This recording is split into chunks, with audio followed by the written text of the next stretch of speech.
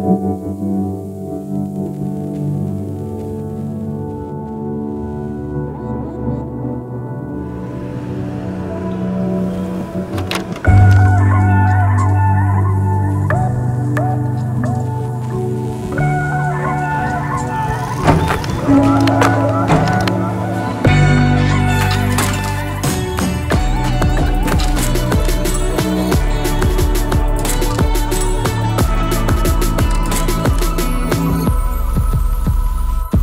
started in a little garage in Hawaii, we've seen so many people take the vision forward and, and use the passion of fitness to really disciple people that have never heard the name of Jesus. So it's a real joy to be a part of.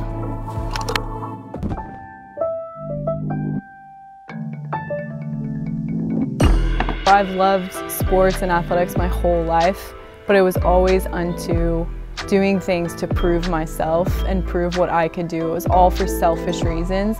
But when I came here and I, I heard about people that didn't have access to the written word of God when we have all of access, and I heard that call, like someone needs to go, someone needs to do the hard thing, hike the mountains, use their fitness unto a purpose um, to reach the lost and not for selfish reasons, that I could get on board with. The preparation for the trek consists of a lot of longer enduring type workouts with vests or with step ups. So the focus is the stamina and endurance. And so we do a lot of trainings that are, or workouts that are 45 minutes to even 90 minutes because of the reality of carrying a pack that weighs anywhere from 30 to 40 pounds for three, four, five days and sometimes um, 12 hours a day.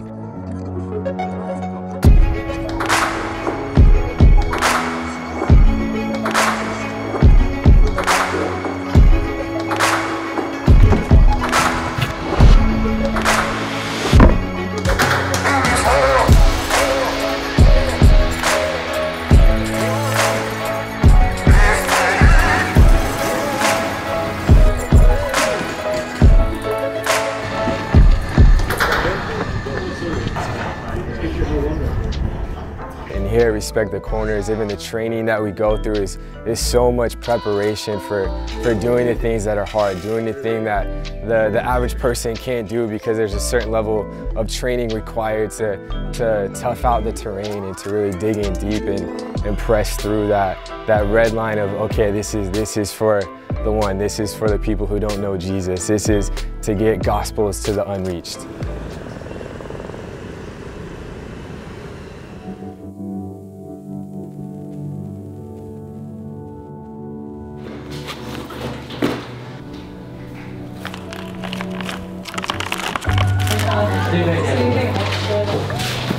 Like, how do you feel about the trek?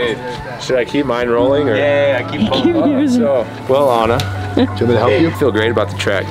I'm excited to be with some of my great friends and new friends and new friends and new friends.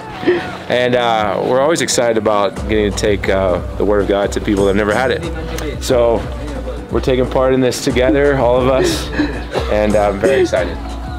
Good job, bro. We're gonna race you. Maybe you're gonna beat, yeah, maybe you'll beat us. So guys, we'll be taking small breaks in between. It's gonna be hot and sunny while we walk today. Uh, it's 25 kilometer away from here. Um, if we if we walk fast, we're gonna make it within eight or nine hours. But we'll see how it goes today. It's a long, long walk. When you can barely see, we're gonna go over that and then down and then farther. That's where we're going.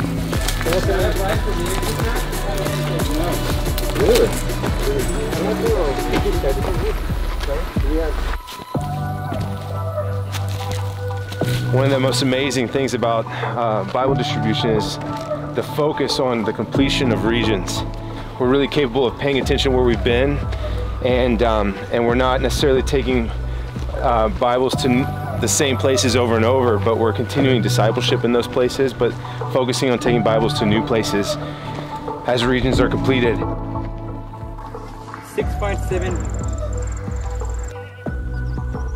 Every person has the right to get the Word of God in their hands, in their homes, in their villages, wherever it may be. There is a host of unreached people groups that cannot be reached and have not been reached because of the difficulty that it takes physically to get to them, um, specifically in these high mountain ranges.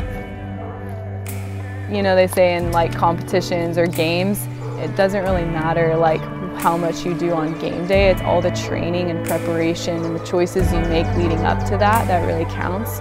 So for me, when I train here, I'm thinking about when I'm on the mountain and I can't slow down, I can't quit, I can't give up, and I can't slow down my team. So I choose to push through mentally when I look at the clock or when I don't want to finish the next round. And that helps me create mental toughness so that I can choose to do it when it really counts. What I train for. Be in this village right here, right now. Even along the way to our destination, God wants to do something. So they asked if anyone wanted to share the gospel, um, the translators, and I saw a bunch of women here. So I thought maybe I should share as a female. So I shared my story and then, yeah, the gospel. And then I asked, has anyone heard this message before? And they all said no, no one had heard this gospel before.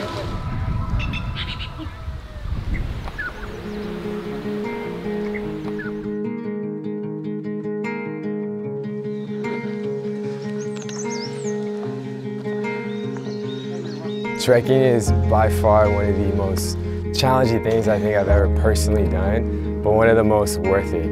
Uh, just getting out there in the mountains and, and seeing the inclines that you have to climb and knowing where the villages are that you're trying to go to and, and lack of resources, food, water, all of it. But just having this thing inside of my soul that's, that's Jesus speaking like we're doing this for the one. We're going after the one.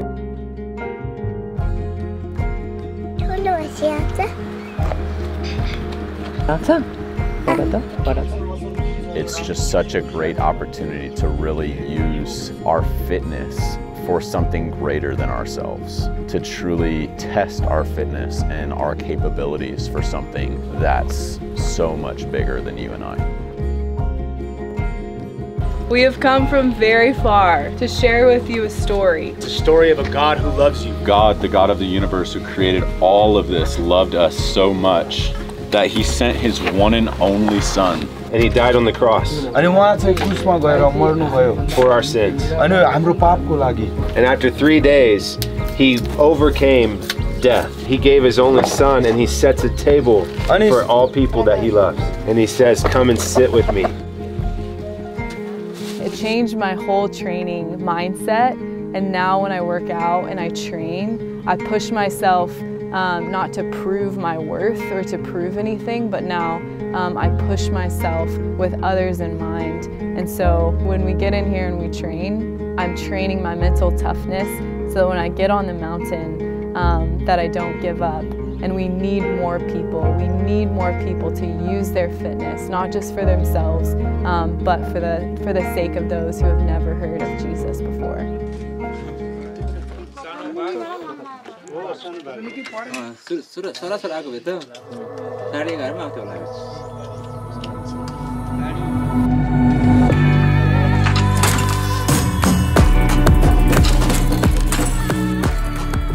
What would it look like for you to lay your life down for people that you don't know, to serve them, to go and reach the unreached?